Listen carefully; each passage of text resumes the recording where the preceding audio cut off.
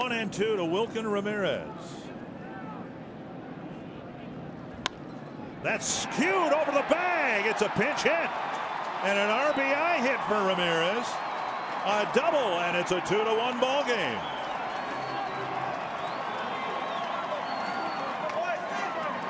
So Wilkin Ramirez off the bench slices a double down the right field line.